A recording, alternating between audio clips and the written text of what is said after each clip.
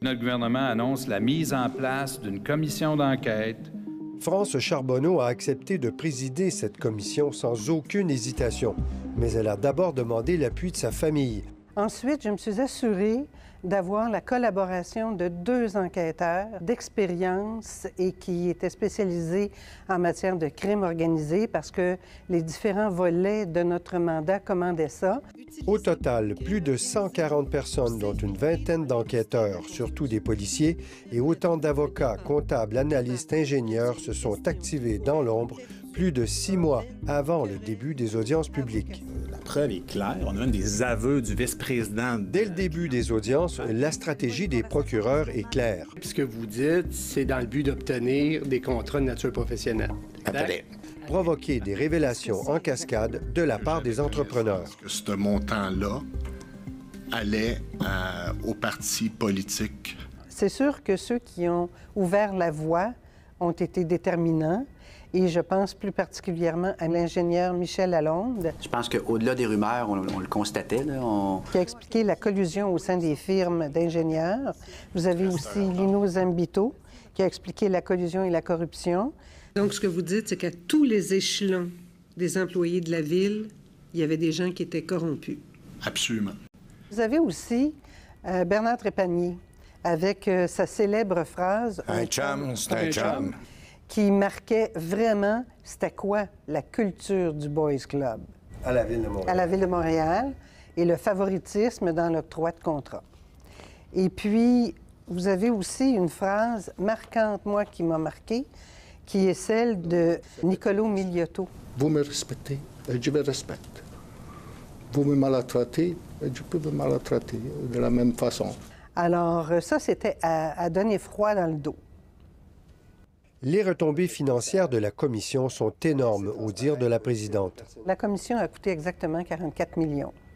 Mais si vous comptez euh, qu'un des impacts les plus importants a été la baisse des coûts de construction dans les contrats publics de 30% juste ça, ça représente plusieurs milliards de dollars. Et je ne veux pas parler pour Montréal, bien qu'on travaille... Après la commission Charbonneau, Simon Tremblay est devenu le directeur des services juridiques de la ville de Laval. Les sommes à ce jour, parce qu'il y a plusieurs poursuites pendantes encore, c'est environ, selon mon estimé bien imparfait, euh, environ 145 millions. Donc on est déjà en bon québécois, en 100, millions d'over dans, dans, le vert. Les retombées judiciaires directement engendrées par la commission sont moins claires. Est-ce que la juge Charbonneau aurait souhaité que plus de responsables de la corruption soient mis en prison? Oui, pour certains procès, ça a bien été, d'autres, ça a moins bien été. Moi, je peux...